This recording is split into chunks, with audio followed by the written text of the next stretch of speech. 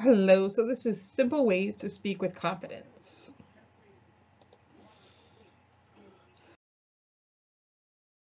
Speaking with confidence and authority is grounded on preparation and planning. Going in without a plan is scary even for the most self-assured presenter.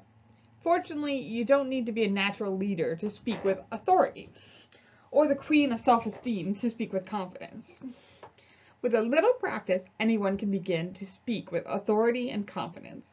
Whether you hope to ace a meeting, improve your presentation skills, or project more or make your project more powerful and authority when speaking, consider the following tips. So one, take ownership of the room. Speaking from a place of strength and authority is mostly a mental game. Once you are in a room, recognize that you belong there. When you feel confident and comfortable, it's infectious. Two, stand like a champion. Give presenters, give presentations and making speeches is very physical. When on stage or standing before a group of people, use the champion stance. So you want to position one foot in front of the other, place your weight on your back foot, Hold your head up high, drop your shoulders back, and lean your torso slightly forward and smile.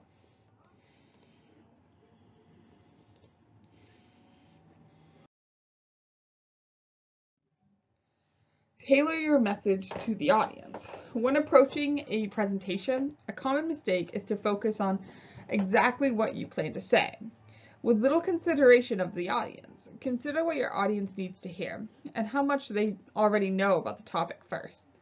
By understanding your audience and telling stories in a way that transports them, they can experience and visualize the impact of the message.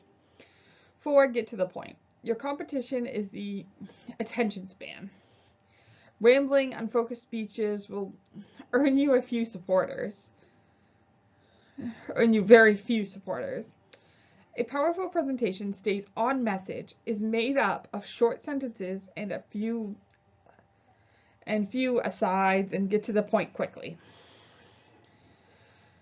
Replace um with stronger filter words. In the moment, it's hard not to say, oh, um, well, you try to gather your thoughts. Instead, try to place it with stronger filler words. When you need to gather your thoughts, use words such as now, you see, however, etc. The sentence, um, I was thinking, suddenly sounds much more definitive and powerful when slightly adjusted to, you see, I was thinking. It sounds intentional and intention instills confidence.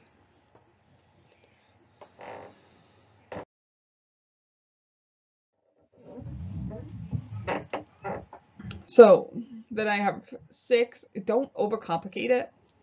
The quickest way to know whether or not someone knows what they're talking about is to pay attention to how many industry-specific words they use.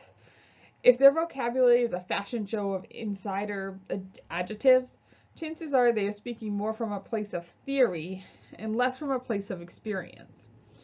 Great speakers and people who carry themselves well know how to get to the point. They don't dance around it. They say what needs to be said and leave it to that. If you use language that leaves your audience confused, you aren't impressing them, you're frustrating them. Keep it simple. Seven, don't swear. Unless you've built a reputation or a persona around your edgy delivery, nine times out of 10, it's best to leave the sailor's mouth at home. When it comes to leading a room, it is in your best interest to keep the energy and the flow as positive as possible, unless you know your audience very well. You never know where a misplaced word can lead. Don't add in an extra variable that doesn't need to be there. This doesn't mean you have to keep your language G-rated. Say what you need to say in a way it needs to be said.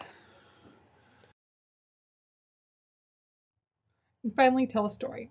As well told stories can turn a room. Stories are how we relate to each other. Stories are what ignite our imagination and turn a thought into a feeling or an idea into reality. Whether you're in, you are explaining a data point or hitting at the outcomes of a campaign. Whatever the case may be, be descriptive.